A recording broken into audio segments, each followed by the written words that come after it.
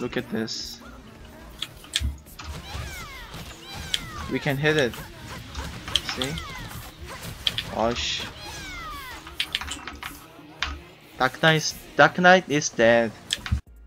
Hello YouTube, my name is Hero, and today we are going to be talking about the nerf that Dark Knight has just received in the Korean version of Black Desert Online.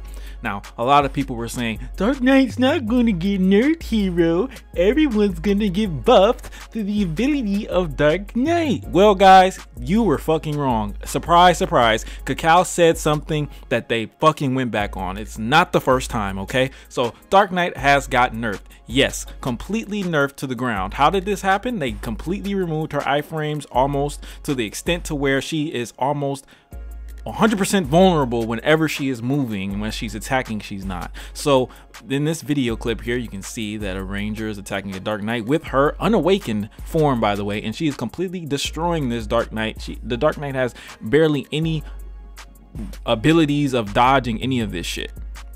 It's even less iframes than Sorc. So dark knight just got nerfed like a fucking dog. Now do i think that dark knight needs to be this nerfed I don't know about that. I wanted her to be nerfed a little bit. This is, I feel, is a little too much, and I think they're gonna reel back on it. They did say in the patch notes that none of this was permanent and that they were gonna go through some careful expect uh, inspect inspections throughout the rest of uh, the next two weeks. So I'm pretty sure they're going to bring it, reel it back just a little bit, maybe give her a bit more DP. But for right now, Dark Knight completely got annihilated by this patch. Um, there's some other classes that got buffed quite a bit, but Dark Knight being nerfed is something that was that needed to happen for the state of the game. And it's like I said, it's it's just a terrible precedent to set uh, when you're trying to balance the game around Dark Knights. When Dark Knights are just extremely uh, broken in terms of iframes and invincibility and damage and and and just everything. Something had to go, and I'm happy that they chose for the iframes to go. I just don't think they needed to go so hard to say,